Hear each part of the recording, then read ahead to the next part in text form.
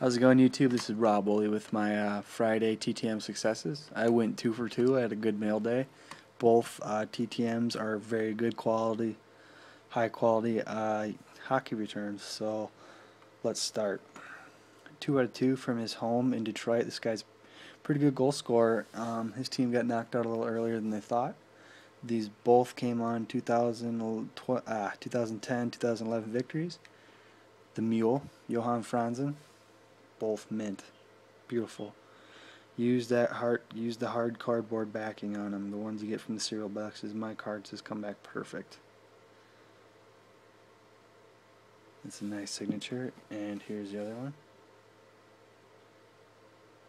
see if we can get this focus a little better. There we go. And uh, my next one was one of the first ones I sent back, and it was when I used the soft cardboard, and I found out with like one or two of my returns I got back that that's horrible. It beats the shit out of the card.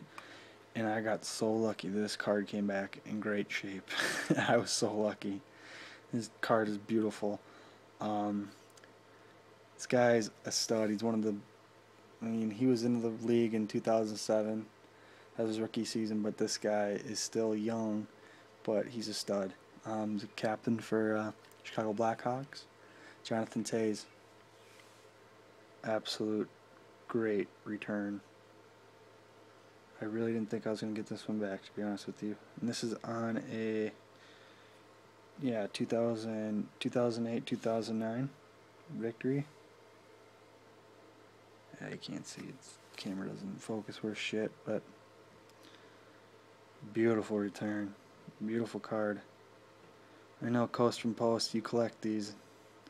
And I didn't think I had, well, I didn't have this yesterday is because you asked me what I had signed. Well, here's another one of the collection of that. Victory 2008 2009.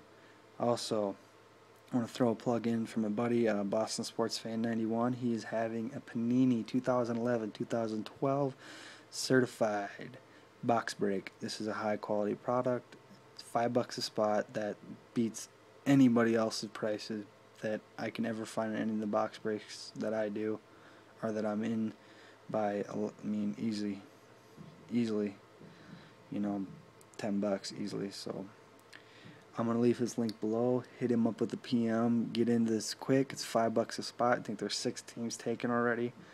So yet again this is a high quality product. He's a great guy to work with and you can trust him I mean, this is the second box break I'll be doing with him, but I do a lot of trading with him. Great guy, trustworthy. Again, to recap, Johan Franzen, the mule. As you can see, look at that mug. He does look like a mule. But he's a stud. Two out of two from his house, both mint.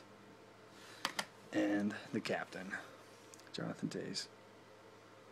Beautiful. Alright, guys. Hope you had a good mail day.